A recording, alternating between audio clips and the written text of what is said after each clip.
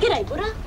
Look, I thought I told you. I'm not appearing in your ads. It wouldn't be a problem with the money this time. You don't get it, do you? It's not about the money. Yes, it is. Take a look at these rates. Think how much people will save. Yeah, that's great, but it doesn't alter the fact that I'd rather lead the Mardi Gras in high heels and a pink frock rather than do another one of your ads. A-A-A-A-P, A-A-P-T, Smart